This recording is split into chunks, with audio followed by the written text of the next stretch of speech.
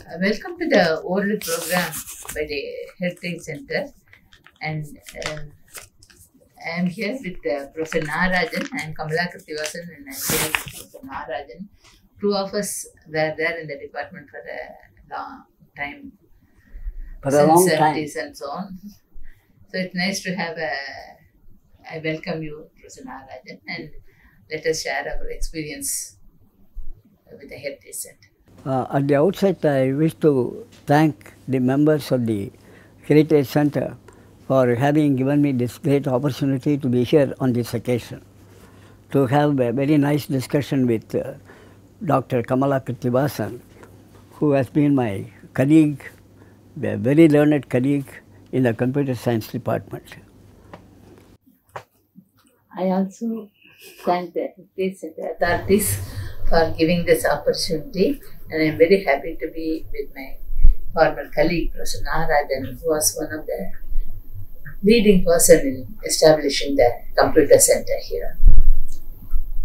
Us- If I want to recount my early days, I was born, bred up at Chidambaram, one of the the, the best places, you know, in uh, in the in the mythological sense.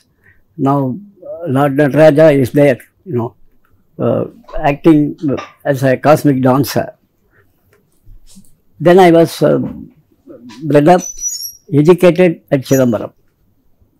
Uh, my initial schooling was in Pachepas High School. I did up to SSLC. Then I studied in Annamalai University. In those days, there was uh, no concept of uh, 11th and 12th. The actual uh, uh, 11th and 12th was called intermediate in those days in the university. So I did two years of intermediate, two years of BSc, and the four years of chemical engineering, BE chemical.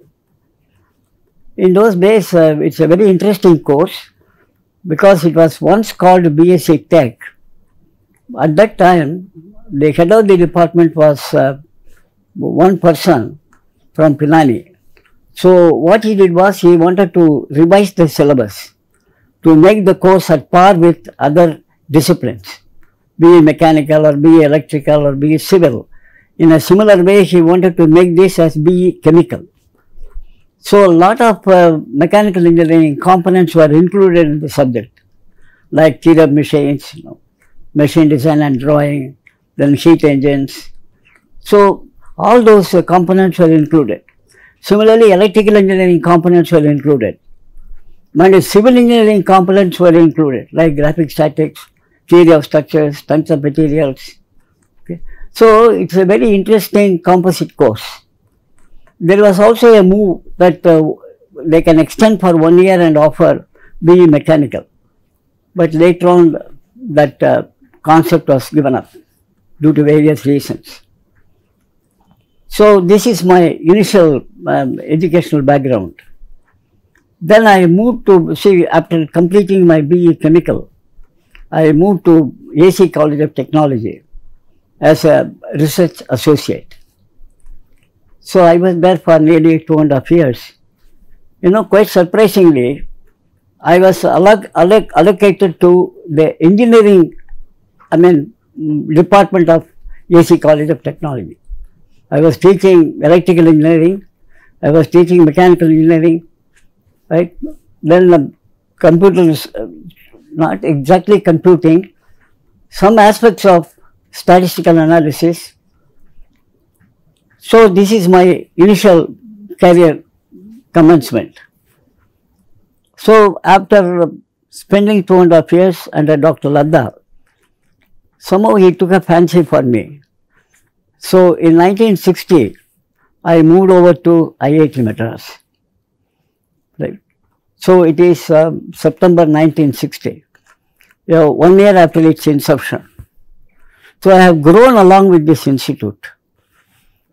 It's a great institute. See, when you talk about IIT, IIT is not just an organization. It's a magnificent concept. It's a phenomenon. We try to see a lot of things you know, happening within IIT at that point in time. It's one of the, the greatest institute, especially in the south. So I, I started working in the Department of Chemical Engineering. Even though it was a chemical engineering, I was more interested in process control. I was I set up the process control laboratory. Then I was working for my MTech program as well as PhD program as a student. I was both a faculty and a student. So we had that kind of advantage in those in those times. So we were allowed to register for MTech as well as for PhD program. So my PhD program is more on um, drag reduction. Surprisingly, Professor Nigam was my main guide and Dr. Venkateswarlu, the head of the Department of Chemical Engineering, was my co-guide. Now this uh, project was uh, given to me by Professor Nigam, Professor of Mathematics. So I had been actually interacting with the mathematics department also from that time onwards. So the, the actual, that was the first thesis from India, especially on drag reduction. Previously it was done in MIT. Dr. Burke, who was actually working in that particular area, it was focused on viscoelasticity. So I did a lot of programming. Actually, I did a lot of uh, analysis on that. And uh, we also came up with new theories on that, drag reduction. And then we published a lot of papers also on that. So it's a very, very interesting area. And uh, uh, this, it, it this work also pertains to non-Newtonian fluids. Especially what is a Newtonian fluid? There are other, uh, uh I mean, fluids like pseudoplastic, dilatant uh, fluids, rheopectic, thixotropic, there are so many such fluids. So when you want to have the control system of such kinds of fluids, how do you do it? So these are all some of the aspects which I concentrated on that PhD program. So that is my, my PhD level. So I actually published number of papers on, the, on those areas and uh, I should I should say that uh, Professor Nigam played a very important role in making up the thesis.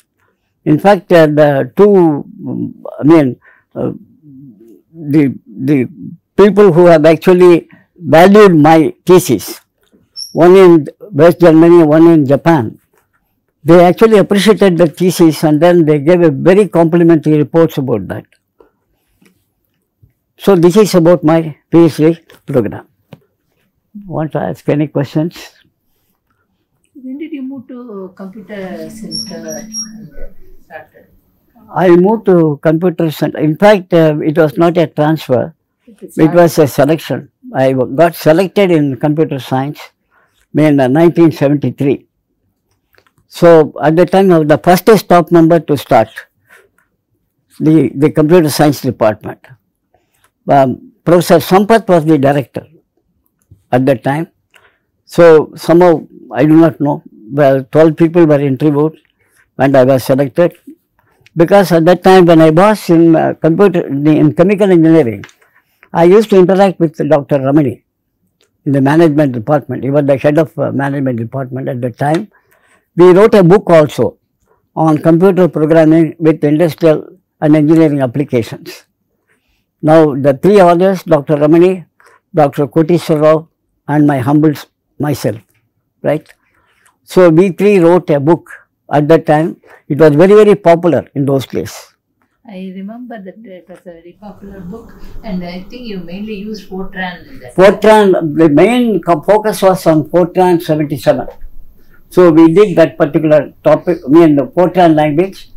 We brought out all the nuances of that language, how it should be used in the scientific computation. At the time, three languages were very popular. One is the Fortran, the other one is COBOL, the other one uh, language is PL1. PL1 is uh, the combination of Fortran and COBOL. It has all the, I mean, scientific uh, computational elements of uh, Fortran and all the uh, output uh, aspects of COBOL. It's a very nice, uh, I mean, integration of Fortran and COBOL. It was used on the IBM 370 system. Now to talk about uh, this IBM 370, it's a very, very interesting and exciting experience and exacting experience also. Because we need to spend a lot of days in understanding the nuances of the hardware as well as the software complications, you know. It's a very huge uh, operating system. We call it as MVS. It has both uh, the, system management function, recovery management function, then the, the task management function, job management function. You'll find that uh, operating system is a very good management specialist. Okay, because we are working on multi-programming environment. See, that's one system which we, which we got had that particular facility of multi-programming. At a time, six programs can run simultaneously. So, it was operated on two modes. One is multi-programming with fixed number of tasks, multi-programming with variable number of tasks. So, how to improve the output? So many people you know used to work on uh, IBM 370 and then uh, that uh, in fact uh, West German people were very very skeptical whether they can make the full utilization of that IBM 370. In fact, we justified that we are capable and uh, we used to have lot of projects implemented on IBM 370.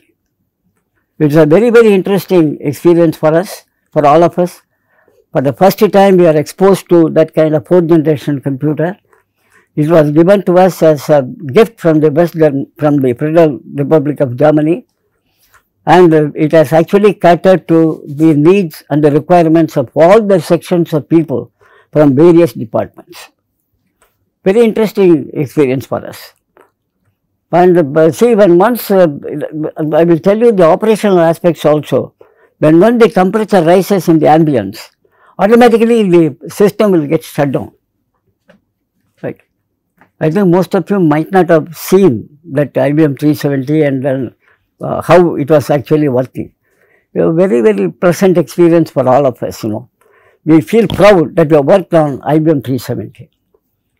So at that time, you know, I was the first staff member to start this and later on Professor Mahabala joined. And he is one of the outstanding computer scientists who disseminated the computer culture in the south. So he played a very vital role and uh, she brought up the department to what it was at that point in time. Now she recruited all the people. I would say that my own students joined the computer science department, Dr. C.R. Muthukrishnan, Dr. Kalyana Krishnan, they were all my students actually. And they took over and they superseded me. So it's a great uh, matter of pride that your own student supersedes you, right? And I was working with them, I was working under them also. So initially I may be acting as head and then when Mahabala was not there, I used to act as head. But later on, you know, with the effects of time, our own students, you know, you have the privilege of working under them. So that was for, for some time. So this is uh, initially about uh, our computer center, right, and then the computer science department. I, I should say that uh, Professor Mahabala has been a, a driving force to improve or to get lot of things for the Department of Computer Science. Uh, see, I basically I am a mathematician. I did BSc Mathematics and MSc Mathematics at Madras Christian College, Tambaram. In both BSc and MSc, I got the first rank in Madras University. But before the MSc results came out, I was married and I was in Lucknow. So at that point of time, I did not know whether I will have a career life or not. Then the results came out. Then the my professor, Rani Siromoney, she had uh, been working in the area of formal languages. I don't know for what reason she took that area, but it's an upcoming area which has got application in compiler writing. So formal languages was a computer related topic and she submitted her thesis around that time. When I finished my MSc, uh, the results came out and then uh, I got the first rank and the chairman of the committee processing the marks was S.D. Nigam. He asked this, uh, the difference between the first rank and the second rank was too large and uh, he said, why don't you ask this boy to join our IIT Madras to do PhD? But then my professor said, uh, she's a, it's not a boy, it's a girl and she's married and she's in Lucknow. Oh, then he left. After six months, for some reason, I came back, and my husband was very cooperative in my career development. And uh, after I came back, I thought of taking up some job, but uh, um, it was in around March, and then some colleges said they come in June, the academics uh, session starts. But then at the time, I realized that I was pregnant. So what happened is my professor said, you can take care of the child and you continue doing PhD. Apply for UGC fellowship and you do. So okay, uh, I joined for PhD program, got the UGC fellowship, and I started working in the area of automata theory. I did not know that it was very much related to computer at that time. But once I started working in the area, I liked the area very much, and uh, I was working on array grammars. The automata theory is basically a part of the, it is very useful in compiler writing. The compiler has two parts, the analysis and the synthesis part. The analysis part has the parser and the lexical analyzer, and the parser has a lot of uh, theory behind it.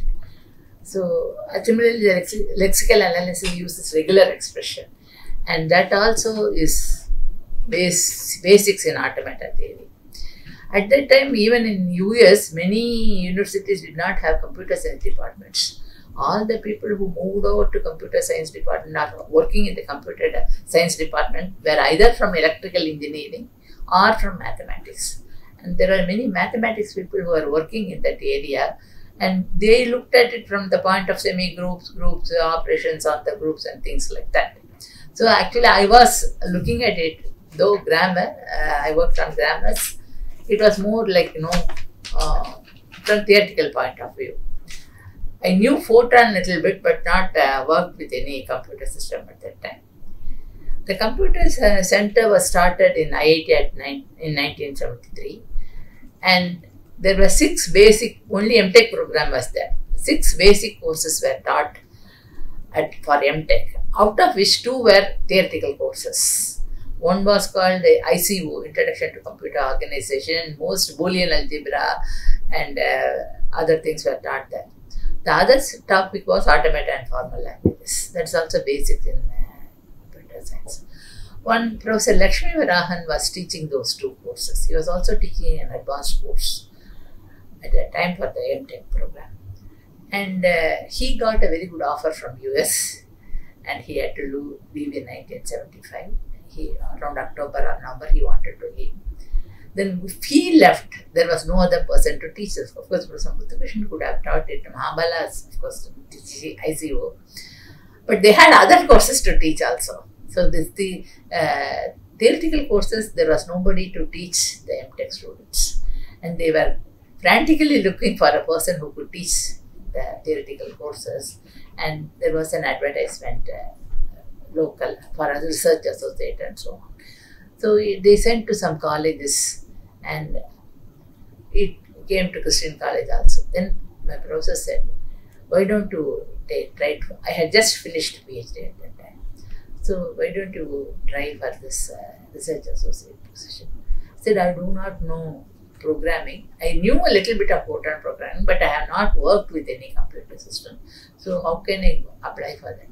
No, no, you just try. So I applied.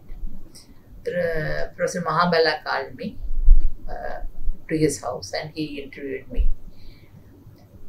Then he said, What is your uh, background and all that? I said, I don't have very good knowledge of programming, but my area is theoretical computer science, and I had some very good publications at that time. So he said, there are two courses to be taught. Now you have to teach them, and you sit along with the MTech students and learn other topics of computer science. Okay, I said. Then I joined in uh, October 1st, 1975 as a research associate. Now, before I joined, Professor Mahabala had to go to US for some reason, and then he said, "I will be out of uh, country when you join. Join and uh, teach the MTech students regular expressions and finite automata." So the first day I joined around nine o'clock. I gave the joining report. Ten o'clock I took the class on regular expressions, and then 11 o'clock I went to the administrative building to finish the formalities. So I was sitting with the uh, MTech uh, students for some time to learn the other topics of computer science. And these two courses, basically theoretical, I used to teach there. and both were core courses. And um, what so after some time, uh, I became familiar with other topics also, and then, uh, but still I continued to work in theory till the end. I worked on theory, but uh, with application to other areas. IBM 370 was the machine at the time. For me, it was very very good experience, or I found it very nice to see that machine and have the opportunity of working uh, with such machine. I tried to do programming and learn programming, and also there used to be the punch card reader and punch uh, card printing machines at that time. All the jobs used to be printed in punched cards and then they will submit it to the input, uh, some counter will be there. They, they will submit to the counter and then after uh, uh one day or uh, maybe uh, you submit in the morning, they will select the output which is a printout from the printer and evening people used to do that from other departments, other even from other universities. People used to come and then do the punched card work, and then they submit and then go. At that time, they, they are uh, appointed two people for doing that alone. Because the punch card uh, printing it requires some knack. It's like typing, but then it requires some knack and so somebody cannot spend too much time on that. I mean, people working in research areas, they uh, spend half the time on uh, using the punch card reader, uh, they will not have enough time for other things. No? So, punch printing punch cards alone they appointed. When Lakshmi Venkatesan, I remember another person, uh, two people they appointed at the time.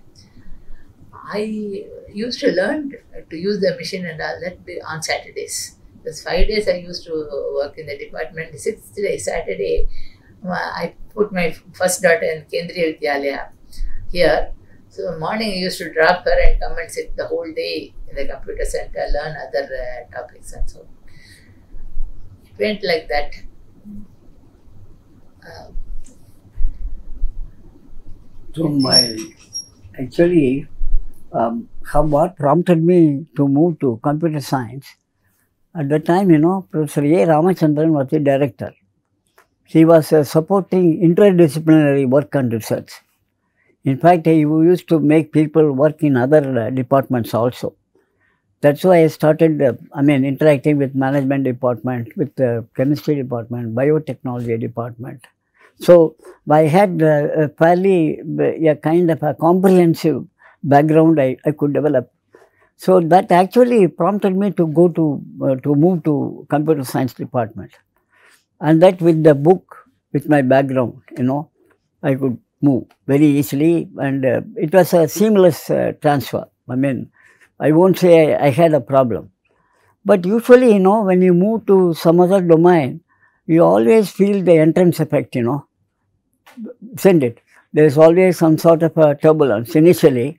So I could stabilize on the turbulence and then uh, try to move forward. So my my actual focus uh, when I was in in, in computer science department, my I used to teach simulation and OR and database systems. So because I have been accustomed to simulation even when I was in chemical, So I used to teach uh, simulation of chemical plants. So in the same mode, I started teaching um, this uh, uh, simulation subject, how to simulate one machine on the other machine, like PDP-11. How to, I mean, simulate PDP-11 onto 370. What are the parameters to be taken into account? So, this kind of a problem I used to do. I used to do simulation also for management people. I used to teach uh, simulation for management people according to their uh, needs and requirements. And I used to teach OR also, basic OR as well as advanced OR. And I always concentrated more on application areas because I am a little bit, uh, I mean, doubtful about my competence in the theory. So, I always concentrated on the application areas. So, even my, all the theses that I have, I have produced in, um, in computer science, they were all related to some sort of commercial application, like management games, right? It was one of the theses which was very much appreciated because, you know, without uh, gaming, uh, how do you now try to understand the, the commercial uh, environment or the firmament? So, this is one of the things which I used to do. Since I was also interacting with uh, Dr. Ramani, I used to be associated with all his uh, projects, you know, even his research work.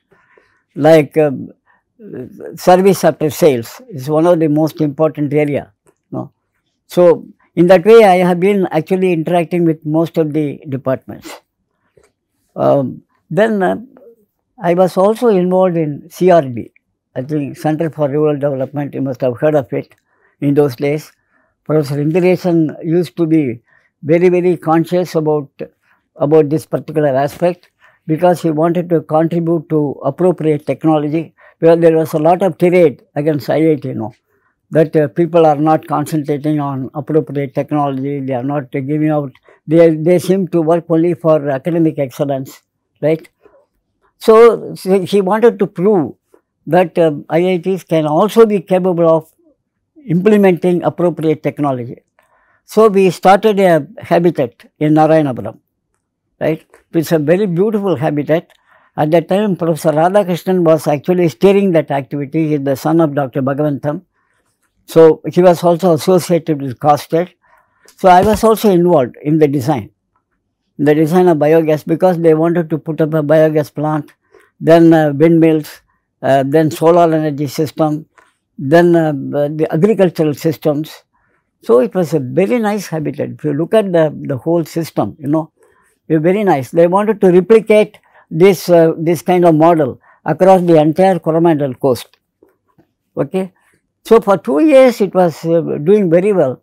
I don't know how it was all given up, due to what reasons, you know, nobody knows, because uh, it was a very good one and uh, I was also involved in the design of biogas plants and we developed a system, a scrubbing system to convert this biogas to get enriched in methane because biogas contains methane and carbon dioxide essentially.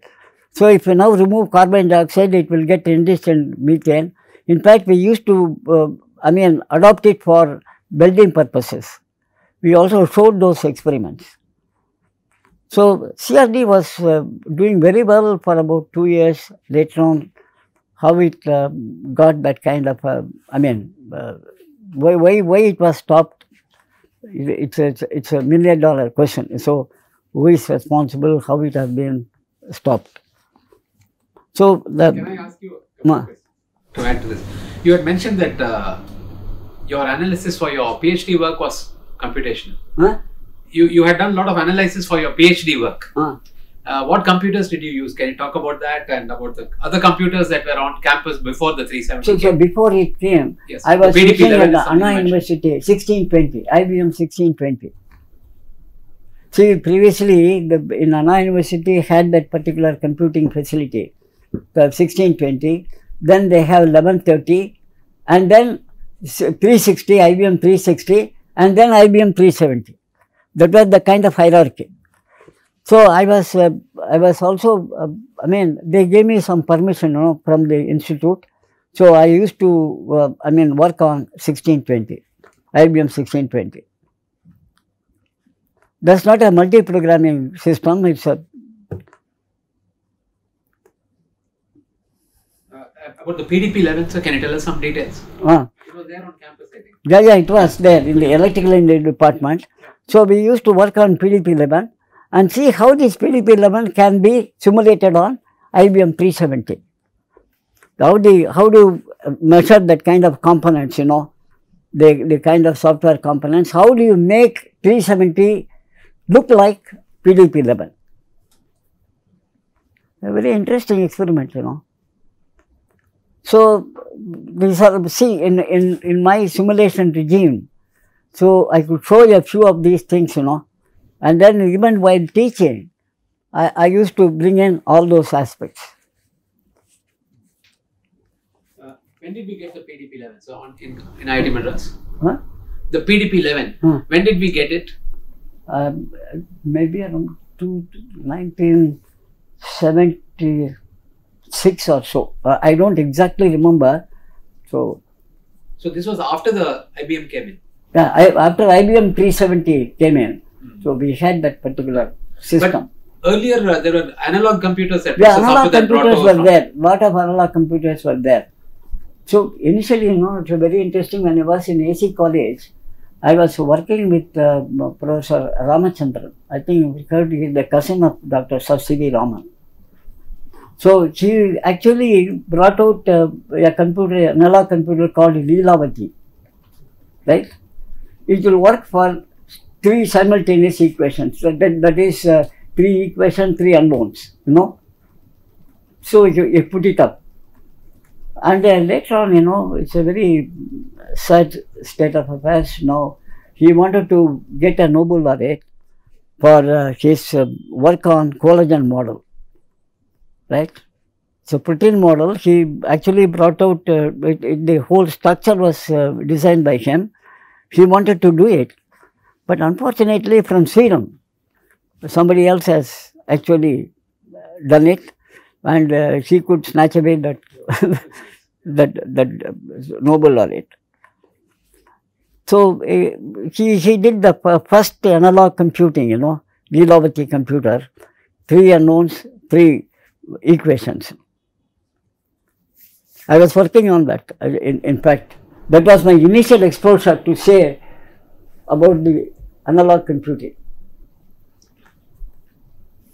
Uh, So- Professor Kamala, you had mentioned uh, you had worked with uh, uh, Dr. Siromoney. Yeah, Did you also work with uh, Gift Siromoney? Uh, Yeah, Did you, what was of it them. like? And, both of them. Yes. Uh, actually, uh, and and can you confirm it was 75 that you joined IIT Madras? Yeah. Joined it. Okay, tell us about your work here. So, my uh, thesis work was on array grammars, and at that time there was a open uh, problem posed by Professor Rosenfeld of uh, University of Maryland, and uh, it was uh, whether the two classes intersect or whether one is included in the other or some some such question. I don't want to go to the technical details of it.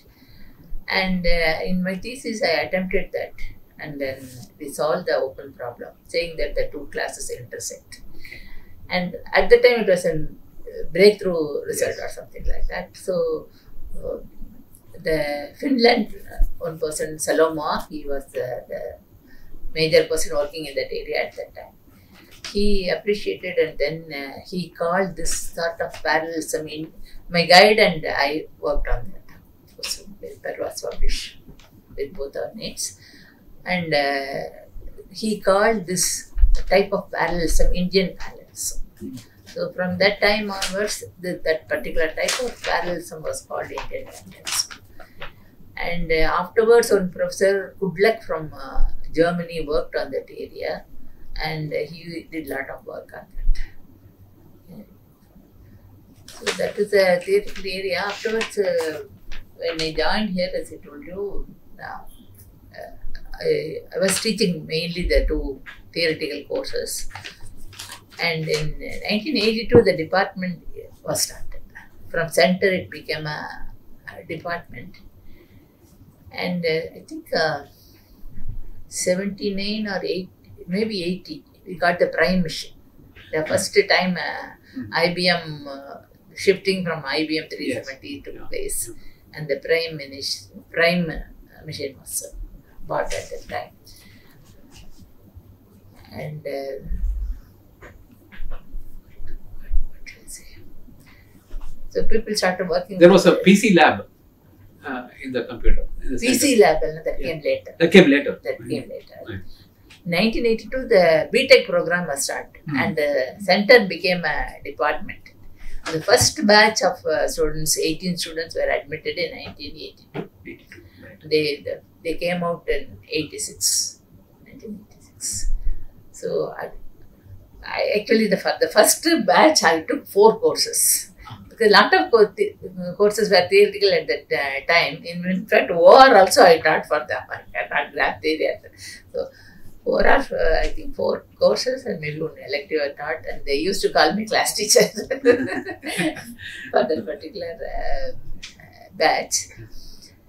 And the PC idea of PC was uh, the, started around 86 or something like that. We did not have email or internet, or all those things were not uh, there at that time.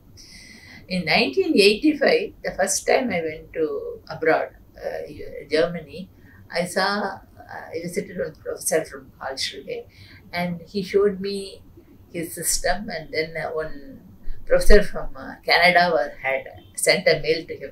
It was so Mm. surprising for me that people could talk or send mail in uh, uh, using uh, systems and uh, I was uh, thrilled. But uh, email facility came to our department in 89. The idea of PC wa- was there, but uh, it uh, was implemented in Professor Eginarayana was uh, head of the department. After Professor Muthukrishnan, Kalyana Krishnan took over. That is the time when the prime machine was uh, there and it was used. But it's not PC. lot of terminals were there. Instead of punch card machine and all that, you can use a keyboard and you can do the uh, typing in and all that. But even then, no, there was no sort of a graphical thing. In uh, IBM 370, you have a very big uh, plotter, and then when you want to plot a graph, you had uh, the pen will plot the graph and so Yeah. on. It was like that. But here, uh, I mean, the you can have something, but it was not uh, very uh, the thing. When PCs, uh, Yegnanarayana wanted to bring in the PCs, and then I think 80, 88 or 89 only we got the PCs. And then email facility we got in 1989 only. But uh, before that, what happened was there was one uh, project, class class project. I don't know the CLASS, Computer Literacy at uh, The BBC Micro. no. Uh, BBC Micro. Right. at BBC Micro, and uh, Professor Mahabala was uh, involved in that, and some selected schools were started, uh, chosen, and then they were given two systems or three systems for school, and then the teachers were trained in that. Mainly four programs uh, were taught. One was a Excel sheet like that. The other one was uh, drawing things and then uh, word processing things Mm. like that. Mm. So that was one uh, thing, and then he was uh, like things were taking place so fast, you know. The, the 84, it was a major project. Everybody was uh, thrilled. The school teachers Mhm. were all thrilled and all that. But uh, in uh, 87, 86, schools started getting PCs. And they started a computer science uh, sections and so on. So it have, had no value after, uh, say, 87. The project was there till 90. Uh, and towards the end, the last two, three years, I was looking after the project, class project. So still, many schools did not have the computer facilities. So we used to call the teachers and then train them uh, a little bit. But but then so much development has taken place. No, when I joined uh, the, the department, it was PL1. PL1 was uh, the uh, what what should say it's a programming Programming language. It was language. A sort of a rule or sastra or something like that. I would say for the Vedam or for the computer at that time. Then Pascal came, uh, C came, and so on. The changes were taking place. There was uh, even email facility was uh, started in 89, but was not very sort of, some days it will work, some days it will not work and things uh, like that. But uh, there used to be something called a, a talk and you can chat over the computer. And then uh, O talk and then you have to give the other machine's address or something like that. So that uh, sort of uh, thing was there. O talk means uh, old talk. That uh, some some machine had only talk, and if you have O talk in one machine and we had talk in another machine, they will not uh, collaborate. It was uh, something like that. Till 93 and all. Internet came only in uh, 97, 98 or something like that. At that time we had that uh, ERNET project. And the ERNET project uh, was handled by Professor Raghavan. So, uh, I mean, lot of uh, things changed, started changing. PC lab, uh, maybe 88, 89, we started uh, having PC labs and so on. Then the Siemens was uh, bought in uh, 92, 90, uh, no, 90, 91, 90, like that, I think. After 90, I don't 89. 89, 89. Yes. Yeah, Oh, 89. 90. Yes. Correct, 89. Yeah. Siemens. This class project which you was referring, Yes. uh, it's a very interesting study. The, from UK, we got a lot of uh, machines, very, very nice machines. And then uh, we, we used to uh, take them to the respective schools. They, they had color screens, I think. Yeah. Yes, color screens. That was a big thing. beautiful. Yes. Uh, see, and uh, we used to take them to the schools, you know. It, it's a mobile uh, system, you know. And a lot of teachers, you know, got trained in the in the system. And they started publishing papers in, uh, in computer science. See, even in central school, because I used to be associated with the central school here, but most of the teachers, you know, they used to do a lot of work on computing. The- so with that, uh, the system, in fact, uh, see, we our computer center and computer science department are two separate units, but they were all under the control of uh, the head of the department of computer science. I took over, as I said, in uh, 1989, December. So up to 1992, December. Then she took over from me. So when I was uh, doing that, you know, two major events we could do. Of course, uh, because of uh, Professor N.V.C. Swamy was then the director, then uh, she gave us a lot of support and solicitude to the Department of Computer Science. In fact, uh, we did uh, during my regime only that networking. The entire campus networking was actually finished. It, it was in a record time, about one and a half years. Within one and a half years, the whole system is through, is up. I think we would have seen the 19, all the, uh, I mean, computers are connected in all the hostels. So we had uh, the data transfer, image transfer, voice transfer. All the three lines are being put. A very nice uh, networking system. For some places we used uh, fiber optics. Because coaxial system was there throughout, but in some places where we want speeds, you know, so we used to have uh, this fiber optic system. Then in the one more event which I could do as a as I said to bring in a workstation complex. All light of uh, sun workstations we got, you know. So a lot of funding was given to us by Professor Swamy. So I should be very grateful to him for uh, developing the the department by allocating few more funds to us at that time. So these are the two major uh, things uh, that I could do as a head. But all the cooperation I got from all the faculty members, right? So I should say with, with a lot of pride that I could enjoy the, the cooperation, unstinted cooperation from our director, from my colleagues, from uh, people from other departments, right? So it is uh, one of the things which I could do. So, could you tell us more about who your colleagues were right from the beginning, sir? The early is- stages, the faculty members Uh, in the computer science department. The first, the first is of course Professor Mahabala. So he, he was my first colleague, no. Um, then second is Professor Muthukrishnan. Then Dr. Kalyan Krishnan.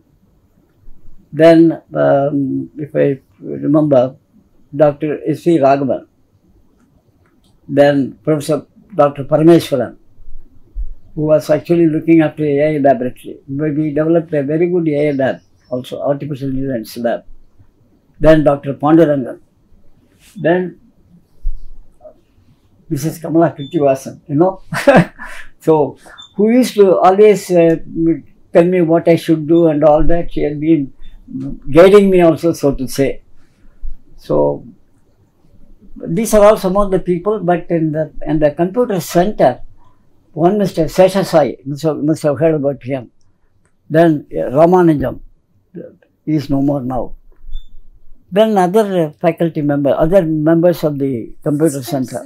Huh? Srinivasan. Uh, Doctor, no, at that time, Professor Natesh Kumar was the system manager initially when the IBM 370 was got.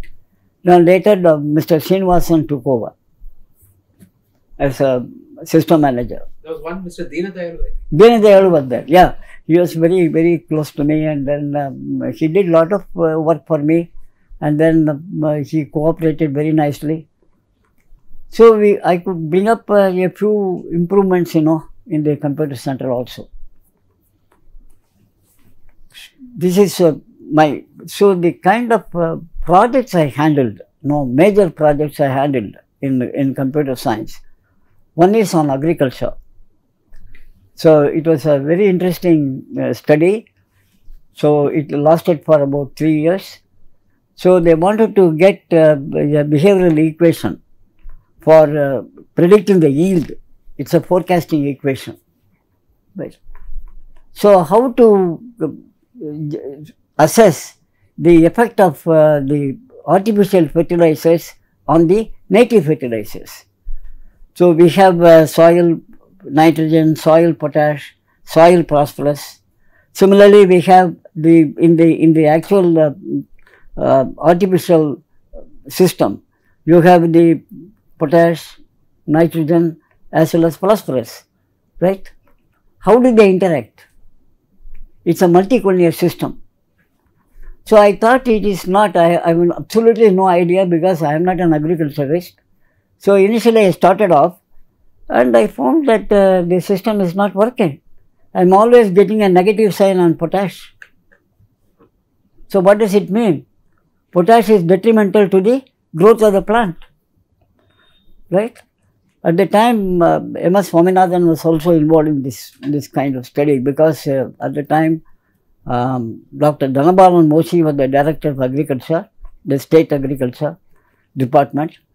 So he actually in, in, gave us this particular work to us. So I was actually sponsored, um, I was actually the person who has been involved completely in this work. So I had to interact with those people. So a lot of experiments have been done in the Aduthurai. The, it's, uh, you know, there, there is a research station. So we used to do that. So it was a very interesting study and it took a lot of time for us to understand how we, we could get over that negative sign. So we, we somehow managed and we gave, uh, produced a lot of very nice equations, you know, behavioral equations to predict the, the yield for different types of crops because, you know, we have the, the water level, the spacing between the plants, right? The, the kind of seasonality, we have to take into account all those aspects. So we used what is called the ridge regression, not the regular regression, ridge regression concept for taking care of the multicollinearity. This is one project in which, uh, I mean, I attained some sort of efficiency, you know, because uh, it was a, it's a new thing for us at that time, at that point in time. The second project I did was uh, nutrition, okay, it's American Foundation project, it lasted for three years to four years. So, it was to predict how many number of people are below the poverty line. Lots of data were collected. So, there were many investigation teams, you know. First team, group A, group B, group C. They used to visit the same places and try to collect the data. You know what would see, quite surprisingly, The first investigation report, second investigation report, third investigation report, they are all divergent.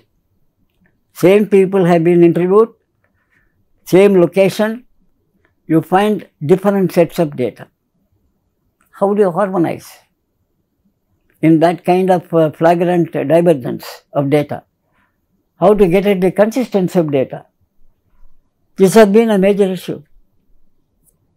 So even data processing, unless you get the data consistency, whatever you know produce is not is of no avail, you know, it's absolutely futile. So we have to do a lot of uh, understanding at the time. So many people are involved. Uh, Dr. Nitin Patel, have you heard of them? They from um, IBM, from I'm sorry, IIM, Dr. Nitin Patel, um, then Dr. Seth, Planning Commission, then Dr. Sambrani, who was in Anand thing, you know, in Gujarat. So there are a lot of people, and my humble self, you know, from IIT. They are all great stalwarts, you know. So the entire work was done in IBM, in IBM 370. So that is one of the most interesting experiments, you know, in a real-time data. I mean, you can do something, I mean, academically. But when, when it comes to the question of handling such kinds of data, you know, it's very, very difficult. It's very formidable to get at the correct type of equation, the correct type- type of scenario, right? Statistical scenario, and how to implement it also. It's not just getting an equation. You must know how to implement it in the real time scale. That has been a real problem. In any process, you know, growth process, the cardinal issue is one of sustainability. Right? This has been a major problem in most of the practical applications. I I have a question about hardware, sir. Ah, Um, at, some, at some time, there was a lot of interest in uh, parallel computing and Yeah. supercomputers and so on. And Hmm. we had our initiative in uh, Bangalore, I think, where there's the Param computer and so on. Mm. So, what was the reaction in our department? Was there any effort made to develop similar computers, or uh, what went on? What was the thinking then? in computer center, in computer center. in our department, yes. no department.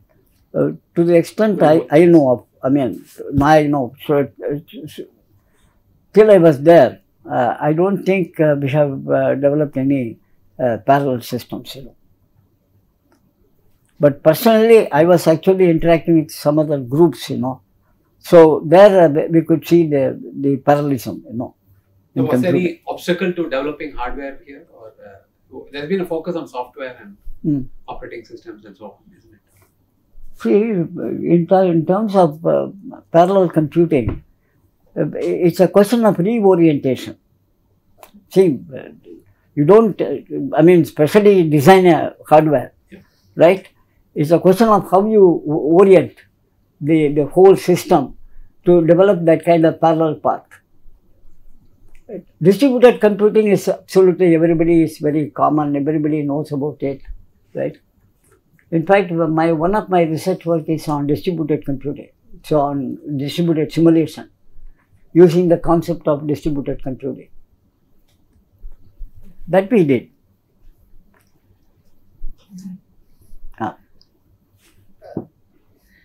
Some of our earlier students uh, have uh, been doing very well. Earlier uh, students were Kris Gopalakrishnan and uh, Krithi Ramamritham and people like that. They are all in top uh, positions uh, uh, today. They were in the 79, 80s. And many of our students went abroad and, and are in very good positions and still doing very well. That's well. And uh, we had two big projects. MHRD funded a lot of uh, money to two projects, information sciences and information technology. So through that we could buy a lot of uh, hardware, I mean PCs and workstations and so on. So that was a very big uh, support from MHRD and of course director also supported a lot. So as far as uh, I am concerned, I have been interacting with the mathematics department a lot on theoretical uh, uh, aspects.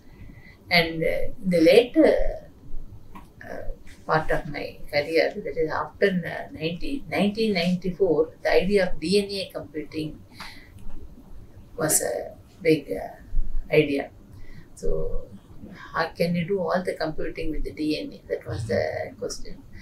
So, it is still not a success, but at least lots a lot of research is going on in that uh, area. So, I switched, it's also a lot of theory involved, and so I was started working on the area of uh, uh, DNA computing, membrane computing, uh, or rather, I would call it as unconventional models of computing, and so on.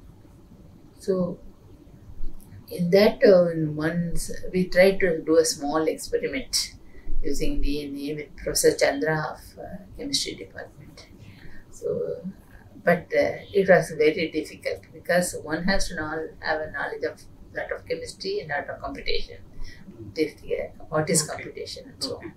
So uh, we had a student who uh, was working with us, and uh, he BTech student. He so he used to sort of I and Chandra used to sit together, but then what Chandra used to tell, I don't, I would not understand fully.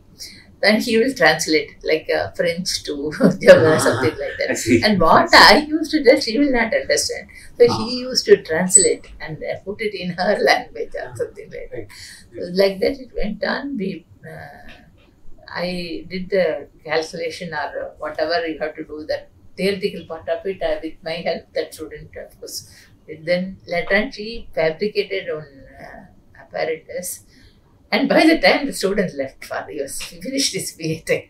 So another student took over and somehow we finished that experiment. It was uh, good, successful. But then we did not want to spend too much time on. Uh, I mean, it's full time job. We had other work to do, other research, other things, so on. Another thing which I uh, was uh, working on was uh, motion planning, ro- robo motion planning, and so on, theoretical aspects of it. We had a in- Indo-German project on that. So I was the principal coordinator, and Professor Pandurangan was the co-coordinator. So we had some interaction with them. How uh, something could be moved in the presence of moving obstacles, movable obstacles, and things like that. We had some work, and we had some Indo-Israel project also on black coats and so on. So the, for that also, people visited here and we visited there and so on. We had some DST projects on uh, this thing and. Later on, uh, Professor Pandran moved on to cryptography. Now I was continuing uh, with the computational geometry, uh, motion planning, and then I also moved on to the unconventional models of computing. I introduced some new courses on that and so uh, okay. One of the uh, interesting experiments we did in disaster management, as I was mentioning to you, along with Dr. Ramani, Yes. we developed a, an animation model, simulation model, by taking um, 60 to 70 years of weather data. And then we developed a very nice model. In fact, we, we convened a, a conference uh, of uh, all the district collectors. Um, Dr. Ramani and myself, we were actually doing that. They looked at our model and then said, oh, it is a very, very nice model, a very didactic model, very nice uh, pedagogic model. But uh, will it solve my problem? No, their anxiety is everything has been taken care of technically, but what about the human truancy? Suppose I want to put it in the real time scale, the collectors feel that the paramedical staff may not be available on that day. They may go on leave, right? And people cannot be shifted to the shelters because they are, they are adamant. They don't want to move the premises. So they have been coerced to move to the, uh, to the shelters. So can your model predict how to do this kind of problem? How to reflect the human truancy in the model, in the behavioral model? Your model is very good academically. We saw all the trajectory of the cyclone, how it goes, you know, what kind of uh, uh, things people should take care, what are the uh, remedial measures to be taken. All that is very good. But uh, when, how, how can suppose the collector is out of station? Who is to do the delegation? Who is responsible for the financial commitment? Now, these are all some of the, one of the collector, very intelligent uh, mm, person. Now, he is questioning us uh, in all aspects of uh, the practical problems. So, we have to revise our model to take care of the human truancy. Okay. So, this is one of the things. And another thing I want to um, mention about our feedback from the students, you know, which is very, very interesting. I was teaching uh, this uh, computing, you know. You were there in the, you were there in that, uh, in that uh, course, you know. One of the students, and the feedback, you know, uh, they, we used to get the feedback from the students. One of the students, you know, wrote, one of the students wrote, Your lectures are very scintillating. The teacher is advised not to indulge in verbal paraphernalia. Simplicity is the essence of good teaching. I was wonderstruck. I called him and asked him, You have written in this way. No, sir, your lectures are very good, but the contents are completely masked by your embellished English. Okay.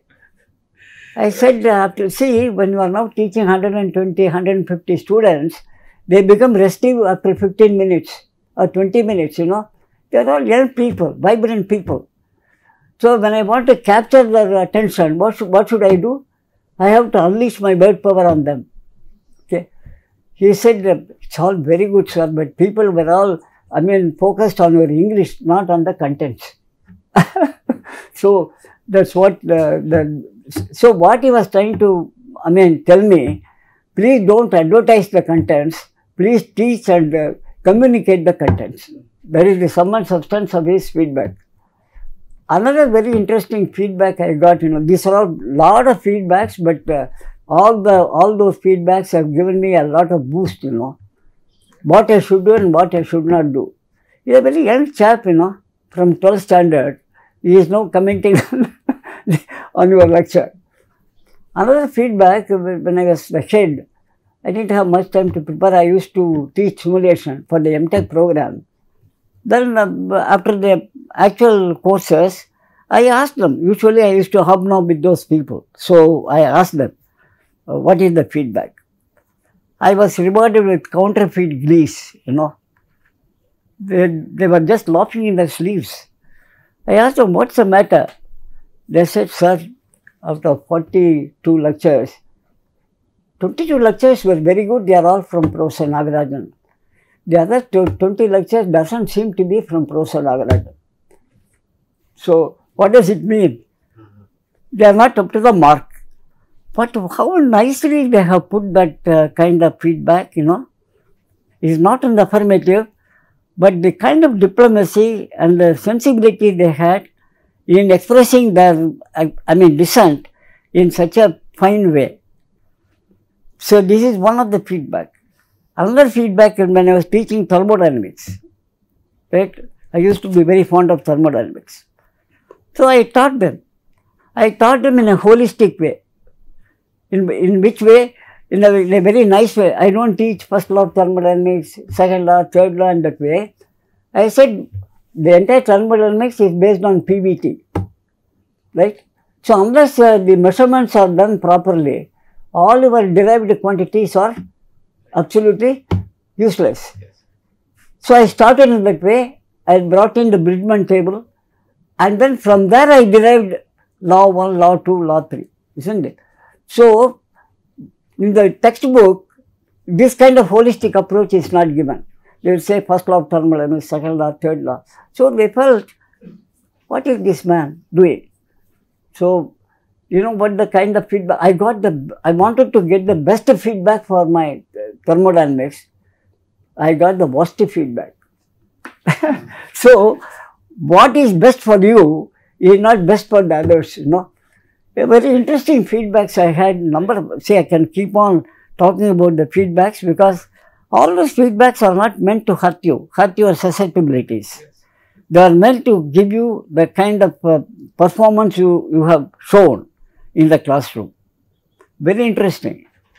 In that way, you know, I used to appreciate all the IIT students, you know, that uh, they, they don't have any reservation. At the same time, they don't hurt you also. What you are in the class is being assessed in the right way and in the right sense.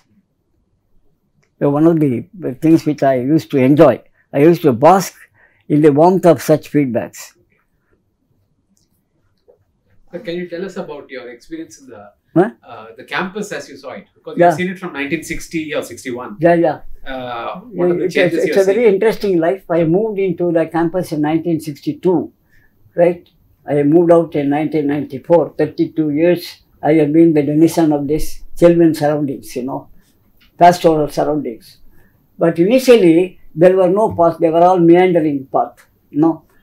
In the night, you cannot go alone. So we used to move in the group. And our uh, companions are our snakes, you know. You'll see a lot of snakes moving around, okay? And uh, they don't harm you. So long as you don't harm them, they don't harm you. So they will be doing that. So no lights at the time, no proper roads, right?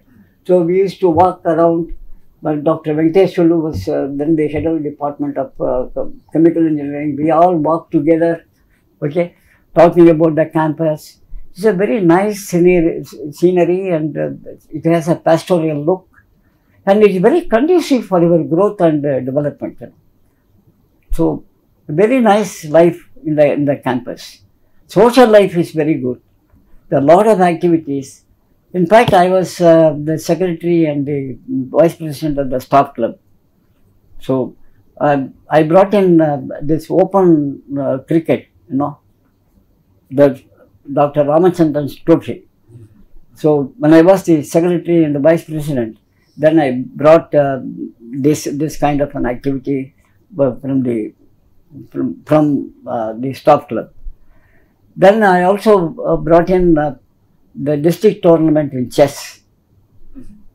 So these were the two activities I did, you know, when I was uh, in the staff club. Social activities are excellent, and uh, people used to move with each other. There's so much of amity, there's so much of fraternity, and uh, there's so much of harmony. So the life was very, very interesting in the in the campus. If somebody has not utilized or taken advantage of this ambience, I do not know what to say about that person. I, I did not live in, inside the campus, so I don't have to say much about it. But I want to say about the NPL, NPTEL program. Uh, so that was uh, later after 2000, and then uh, it was, uh, I mean, other universities, colleges, they really are benefited by this program. We have recorded a, a lot of things uh, in all subjects and NPTEL. It's, then the, it has been uploaded. The students and teachers they are regularly using them. I had given about 40 lectures on discrete mathematics and 42 on uh, automata theory. And even till now, no, whenever people see me, where sometimes in the airport you are sitting or in this, uh, suddenly somebody comes and says, uh, Adi Kamala Krithivasan, I have been benefited by your lectures too much or Okay. something like that. So because of that, I also wrote two books. Uh, uh, one on automata theory with Professor Rama of Maths Department. Another one is adaptation work of Professor uh, Rosen's uh, book. These two books are still being used in a lot of uh, colleges and uh, universities. So- And uh, other thing is, uh, uh, one of the things with Indian culture about my work is about kolam patterns. My PhD thesis was on uh, array grammars. It had one chapter on how to generate kolams using array grammars. Okay. And later on, I was uh, uh, I went to US under the Fulbright fellowship. Then from there, I went to Canada, and there I worked with one professor. Uh, uh, they called them Professor P, University of Regina. I just went there for about a week or so. So uh, earlier we met in US in a conference, and then he invited me to go there. There he had written some program, and he used to how to draw kolam patterns using some are repetitive type. You Some can draw bigger, bigger version of it uh, just by giving the iteration. So something called L systems were used for that, a grammar uh, form called L systems. And if you write a grammar with three, four rules, and then it will generate beautiful patterns. Also, it could generate uh, some flowering patterns and things like that. So, but uh, my work was mainly on uh, kolam patterns, how to generate all the uh, g- write the grammar. I used to write the grammar and give it to him. He has written the program and then uh, some uh, spline approximation and all that. It used to do the curves and Oh. very nice. Hmm. And after came back from uh, the trip, uh, uh, some of the MTech students did as project, and they developed more and more on that. Uh, Do, do we have working, I mean, demonstration models of those programs? I don't have the demonstration. I have some uh, photographs. Or the kolams themselves? Yes. Yeah, photographs I have. Okay. Uh, I- I- what happened to the IBM 370, sir? After it was, What? after its life was over, the IBM 370, Hmm. did we retain it or what did we do? No, no, no. It was being sold to CMC, co- the corporation that uh, They took it. computer maintenance corporation. Yes, yes. So we had some problems also because it came as a gift. In what way we should sell it to CMC? So there were many audit objections also. I see. Then we could somehow manage to Ah, manage to cover up, you know. yes. So at the time I was Yeah. like head, you know. So Not for them, I don't think. So- yes. then Siemens uh, computer was brought in, and then we have about more than 32 terminals being connected to Siemens. So it's all very interesting experience and experiment. So the So- Siemens was in turn sold off. Huh? Was it disposed of the Siemens also? Which one? The Siemens system. Where? The Siemens. Siemens system. After it was Siemens, I think, uh, was uh, Also still- sold. Then it was all. I mean, it is still there. So long as I was there, uh, Siemens was still there. Hmm. But later on, what happened? It Because was uh, replaced. I don't know what happened to that Siemens system. the Siemens Later system on, better systems were there there. That's right. So uh, I moved out in 1994. So now it's uh, 23 years since I left the organization. You know, so many developments would have That's taken true. place. Right. Right. Actually, in 1992, Center was separated from uh, the department. When I took over as head of the department, I was handling only the department. Center was separated at that time. And uh, sy- systems were Very nice at the time when uh, this was actually moved out. Uh, they wanted to separate uh, computer science department from computer center. center. 'cause- At the time, N.V.C. Swamy was there. So I was a little bit uh, adamant. No, Hmm. I did not want the computer center to be dissociated from the from computer science Right, department. right, right. So there used to be a lot of uh, exchange, you know, between me and the director, but it was all solved in Right. my favor. Right. So very nice days, you know Yes. in IIT, and then uh, I learnt a lot of things from uh, from this group, from students, from my colleagues. Okay, and it was a very interesting valediction. When I retired, it was not considered as only a departmental uh, event. Hmm. It was considered as an you know institute event. So the, in the, the she was the one who actually organized that valediction and uh, in the central lecture theatre. So all the departments have been invited, and uh, they put up uh, a conference also on the on the valediction day, Uh-huh.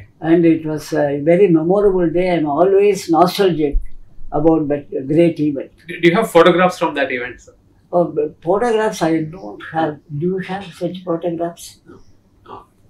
Because it, it must be there somewhere, you know. I will try to get uh, some of the photographs. You know. Yes. We really like to see. Because I thought at this age I don't need such photographs. So, But, so you, that's what I felt, you know. you were so interdisciplinary, so it's quite yeah. understandable, I think. Yes. But uh, very nice time, Yeah. very, very happy time, right? There may be a few ripples, you know, uh, that will always be there in the system. Unless you have some friction, there is no, there is no enjoyment, you know. My hobby is uh, literature. You know, I always have a natural flair for literature.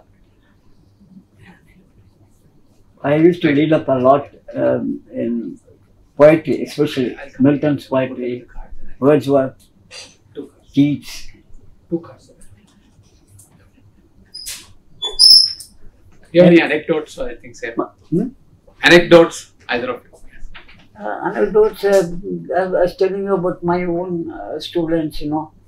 So, very interesting. Some Sometimes, you know, you have to be uh, on, on the throws, you know. Even kids now challenge you. They have uh, this uh, iPads. See, when I, was waiting for the, the other card, so one, one kid, you know, UG, that is upper kinder, she was sitting and she was uh, trying to do something on the iPad. I asked her, What are you doing? Then she said, um, Tata, this one, Grandpa, this is, I'm trying to do some games. Do you like to see? Then she showed me the games and she wanted me to play. She was explaining. I couldn't understand. So I couldn't do that. She asked me, What are you doing? I am doing uh, computing. I am a professor in computer science. You know, what were you doing? You didn't know even this. I mean, I was really. I mean, even the kids will challenge you now. You have to be careful because they know better. Especially Especially with this uh, smartphone and uh, mobile So because of the phones, you know, smartphone, see, they are able to, to- they search, uh, download the picture, they are able to visualize the picture.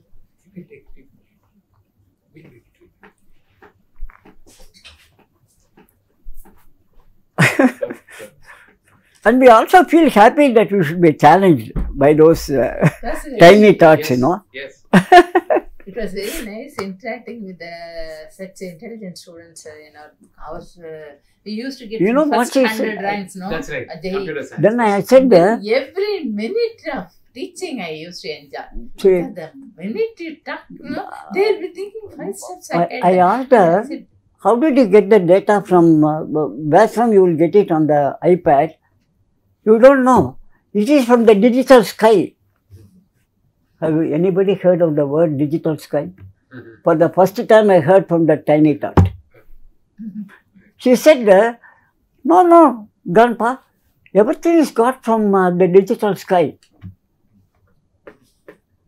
So, so it's very, very interesting to be with them, to chat with them, to know things from them.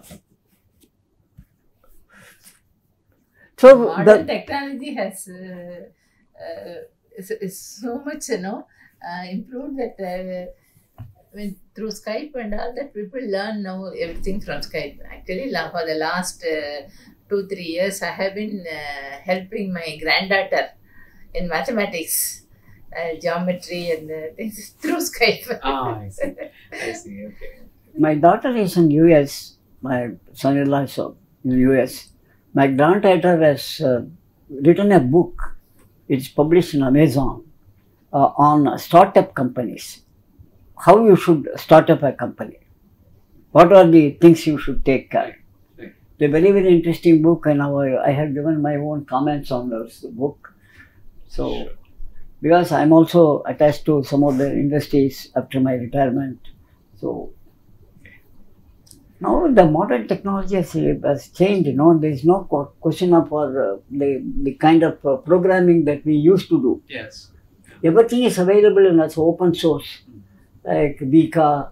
Now we talk about Weka, we talk about Rapid Miner, we talk about R, we talk about uh, Splunk, Tableau, KNIME. So many softwares are available now, floating around in the in the cyberspace.